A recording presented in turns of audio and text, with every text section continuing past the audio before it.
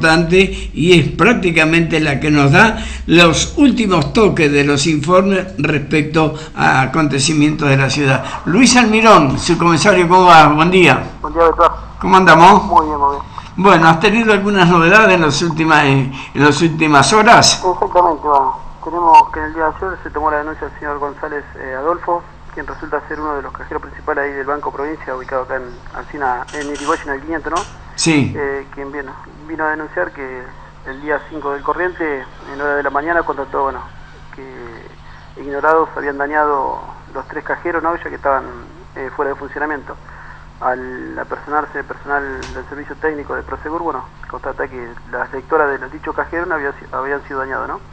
En razón a esto, bueno, se están labrando actuaciones por el delito de daño. Pero no, no obstante a eso, se tomó una denuncia al señor eh, Alaimo Cristian, eh, quien refiere bueno, que el día eh, 4 del corriente, eh, sería el día domingo, ¿no? Entre las 11 y 12.30, bueno, fue a hacer una extracción al cajero ahí del Banco Provincia, y eh, el cajero mismo, bueno, vio que había dos cajeros que estaban fuera de funcionamiento y el tercero que estaba en funcionamiento, bueno, le, le procedió a tragar la, tarjeta, ¿no?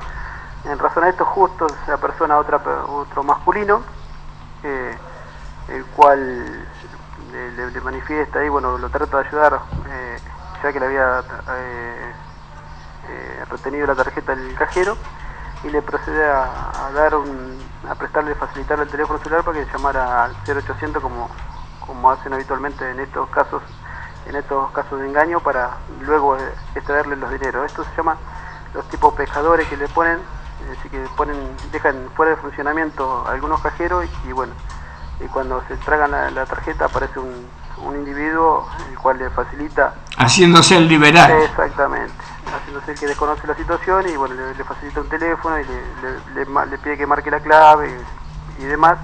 Esto es un ardid para, bueno, luego eh, en- la víctima se retira del lugar y este, este individuo procede, procede a extraer la, la tarjeta y hace la- las maniobras eh, de extracciones de, De dinero dinero. del, del propio damnificado, ¿no? Sí. Esto hecho ocurrió eh, ya en la localidad de 9 de julio, anteriormente, eh, durante la semana pasada.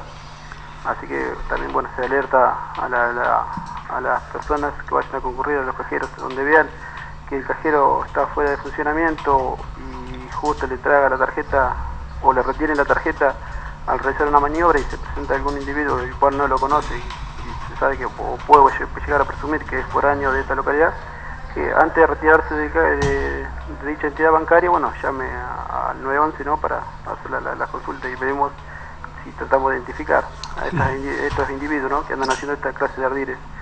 Igualmente, bueno, se están pidiendo las afirmaciones de, del- de la entidad bancaria y para ya iniciar la- las actuaciones penales correspondientes. De la persona que, que intervino en, este, en, en esta irregularidad, ¿se sabe algo? ¿Se tuvo algún contacto con él? Eh, estaría afectando el ardid, digamos, Sí. No, no, eso está- se está investigando, por eso están solicitando las cámaras de filmaciones de la entidad bancaria para así iniciar la, la- la investigación correspondiente. En este caso, lo único que tenemos es el daño de los cajeros por las lectoras que tuvieron que, que cambiar, ¿no? Porque la señora Laimo, no por suerte, si bien le retuvo la tarjeta, eh, no, no, no, no le hicieron ninguna extracción de ningún tipo, no lo han logrado sacar. Bueno, Pero sí en nuestra localidad, bueno, eh, llegaron a cometer este, este tipo de ilícito. Luis, eh, en la tarde de ayer pude observar el desplazamiento de un móvil policial y la ambulancia de la municipalidad hacia el sector del acceso Kirchner. ¿Hubo, ¿Ustedes tienen alguna información sobre lo que aconteció? No, no, no, no tengo actuaciones al respecto, doctor. ¿No? No, no. Bueno, Con eso tengo actuaciones al respecto. sí, me llamó la atención eso y más la velocidad con que iban desplazándose los vehículos. ¿Algún otro tema que hayan registrado y que hayan tomado participación? Sí, bueno, tenemos eh, en sí eh, la denuncia tomada en el día de allá de la madrugada del día de la fecha al señor Sosa David, quien, bueno, esta persona tenía estacionado frente a su domicilio en Echeverría al 750, un automóvil espacio, ¿no? Y bueno, eh, es noticiado por personal policial, bueno, que el dicho rodado estaba, estaba en llama, ¿no? Al cual tuvieron que concurrir los, los bomberos voluntarios para apagar el siniestro. En razón a esto, eh, y pensando, señor Sosa, que esto es intencional, porque se constata aparentemente la, la faltante del estadio del, del vehículo, se están iniciando actuaciones por el delito de robo y e incendio, ¿no? ¡Apa! Así que, bueno, eso por un lado. Y bueno, después, eh, esto en forma de comentario, bueno, también fueron convocados los bomberos alrededor de las 4 de la madrugada al local eh, denominado 312, ¿no? Por una existencia de un humo, extenso, un humo espeso ahí en el lugar, el cual fue producto aparentemente de unos cortocircuitos de una heladera que tiene en el lugar. Pero bueno, en esto no hubo ningún tipo de actuaciones, solamente esto en forma de comentario. Eso, eso fue por la parte de, la, de, un establecimiento, establecimiento educativo. No, no, no. ¿No? Esto, esto fue el local bailable. Ah, sí, sí, sí. 312. Lo que usted me dice es el tema de la escuela Sarmiento. De la escuela Sarmiento. Sí, También lo, lo, bomberos por un principio de, de, incendio en el lugar. Pero no pasó mayores tampoco.